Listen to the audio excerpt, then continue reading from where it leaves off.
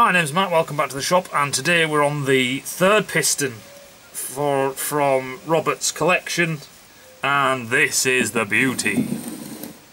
Oh yeah! We have got some serious detonation and then pre-ignition. This has had a fucking nice day out as this bad boy. Now, looking at the bottom, I can't see it coming through but you can see there's a lot of oil cooked on the bottom um, yeah, this has not had a good day out. So this was taken from an RD uh, RD250. That's what Robert said it was from. Um, he had a question mark at the end of it. I don't think you remember. I think he's had it for quite a while. But these, this is just fucking beautiful. Absolutely beautiful. Let's see if we can get the top ring out so we can start to see what has happened to the actual um, ring itself. So let's have a look at the ring. The ring's out of shape, uh, obviously because it's had a lovely day. The actual end of the ring has been turned up. Um, yeah, there's a, a, lot of carbon deposit on the ring. There's some uh, vent grooves cut into the ring. I'll show you them. You can see a bit there, but there's these grooves cut into the bottom of the ring to help stabilise um, the airflow on the underside of the ring when you have your intake from the bottom of the crankcase. Uh, what else have we got? Same thing on the sec on the second compression ring. But this has just had a fucking nightmare of a time. Now you can see that we've got our windowed uh, cutouts in our piston, very nicely done. This is right, real nice radius on there. Um, Yeah, really nice ridges, and I'm just trying to look see if there's any awesome cracking. You can see it's been reinforced on the back with the thickness of the bridge. Uh, there's some burnt oil on the underside. You can see all that. That's all lovely because it's got far too hot. But you'll see straight away that our two wrist uh, pins are um, on the inlet side and you can see our little resonance pockets here for our boost ports. And you just look at this exhaust side that is just that is just crusty. It's just lovely compared to that which is what it should sound like.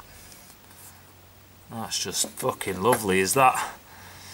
So basically as you can see when the when the piston comes up towards the uh, compression chamber, uh, combustion chamber should I say, not compression chamber, combustion changer, uh, chamber, it's actually the spark plug region. So the spark plug will be sat right here and because your exhaust port is here and because all your exhaust gases flow this way then it's this side of the piston that is hotter and retains more heat.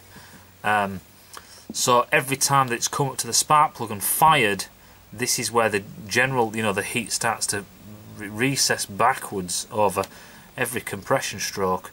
And then it's basically where the spark plug ignites is uh, the hottest region. So this is what actually starts to chew away at the piston. And it's this pre-ignition um, as I was saying as the piston comes up pre-ignition is when it lights beforehand and it's obviously just got hot in the region where uh, the spark plug is. So I would say this might be caused by running too hot a spark plug. Um, maybe too much of a, uh, you know, his head gasket wasn't thick enough, so his squish was too tight.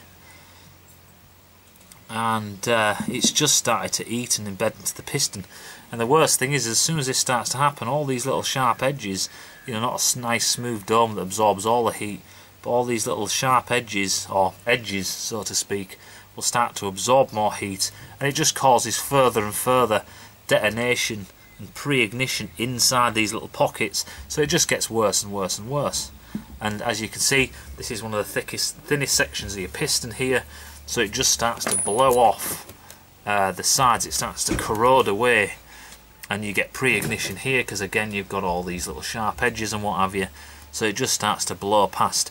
And as you can see weirdly enough that this ledge you know this top ledge here has disappeared.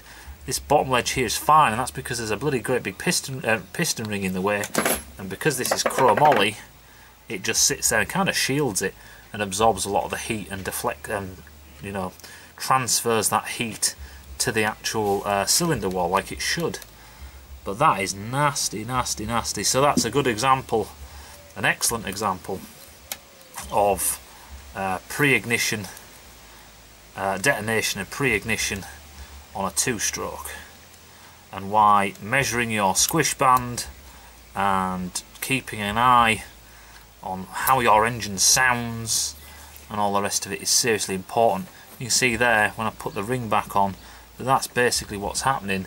It's just blatting away and just eroding all this aluminium in the direction of the exhaust port.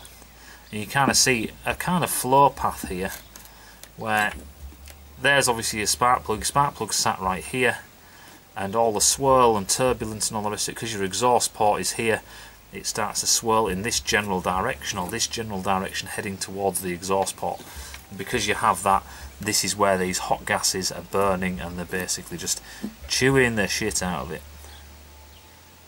but um, and obviously the thing's got way too hot way way way way too hot and then the thing's just fucking heat seized on him and probably spat him off that's absolutely awesome.